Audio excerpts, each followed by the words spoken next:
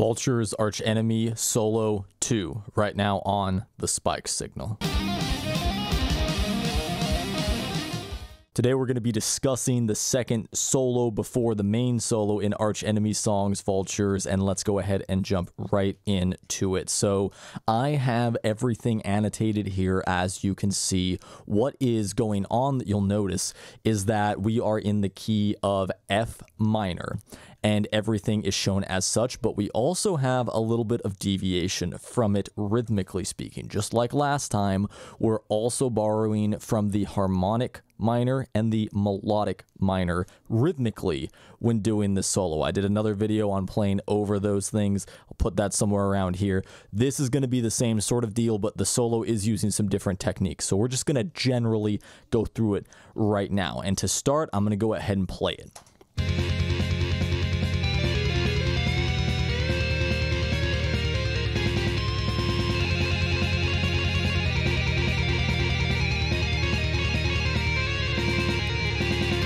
So sounds very, very uh, intense, dark at certain points, depending on how it is, but also sounds rather melodic and nice at other points as well. So let's go ahead, waste no time getting right into it. The first chord we have here is an F minor, and that's just the flat two of F minor, which means because it's a natural being held uh, prior right here, that means we're starting the solo off in the first first measure non-diatonically.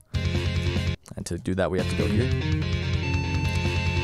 So it sounds very at odds with that first measure. So what comes next then?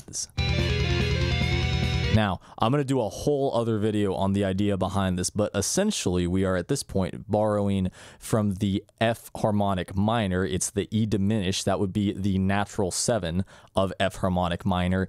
And we actually have almost entirely, not completely, but almost entirely are playing notes from the F harmonic minor, with the exception being this flat seven right here. The uh, seventh mode in F harmonic minor actually has a natural, uh, or rather a double flat seven.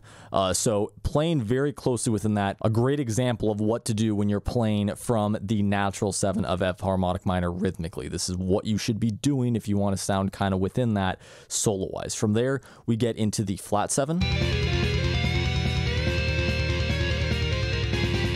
Go to that D diminished. So going back to the flat seven really quick, that's the E flat. We are staying entirely diatonic here. So we go from the diatonic F minor go to the non-diatonic uh, E diminished, borrowing from F harmonic minor. We then move to the E flat, which is the natural, or rather the flat seven. A little bit of a lick here, these chords and notes all staying within the E flat major sound. Then borrowing a D diminished from the uh, melodic minor. That would be the sixth mode of the melodic minor specifically. And these notes, as you can see right here, and I'll do, I'll get into these more later in another video, are all following within that mode as well. So even though we're going non-diatonic and getting outside of the standard minor scale, even with that, we are following in our lead solo, we are following along to what the rhythm is doing nonetheless. So good information right here. Now we get into the next part, and it's a tapping section.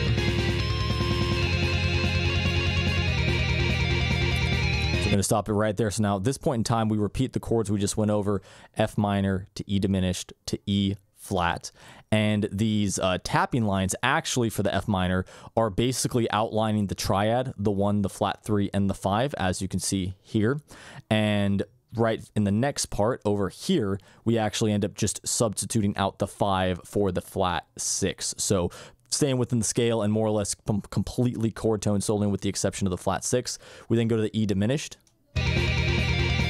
And that actually as well, more or less, is staying within the seventh mode of the harmonic minor as well. Uh, note the flat five, as well as the flat two. We then go back diatonically to E flat major, and with that, we then have this uh, really cool little rhythmic passage. This rhythmic solo passage just, just kind of revolves around the four, essentially the fourth note of E flat, and we're just kind of moving down and descending down in a very nice and cool fashion. Finally, ending out on the D diminished as shown right here. Now, this D diminished, once again, borrowing from the uh, six mode of the melodic minor. You know, we have a lot of uh, strange looking accidentals here, uh, just a byproduct of that mode from the melodic minor, as well as just some things outside of that mode. Uh, once again, showing you that you should not be afraid to get out of your diatonic key, out of your main minor scale that you're in if you want to make something that sounds kind of uh, off kilter and kind of mean. But at the same time, there is melody here too, nonetheless, at least the, the sense of melody. So it can equate to some really good stuff right there. So guys, that was the a second solo before the main solo in Arch Enemy Songs Vultures. If you like this video, I would appreciate you checking out a song I put out not too long ago. It's called Telestial Fray. You can find it on Spotify by typing in my name, just like you see it here on YouTube, Spikes Signal. And if you'd let me know what you think of it, I'd appreciate it. So till next time, I'll see you right here on the Spikes Signal.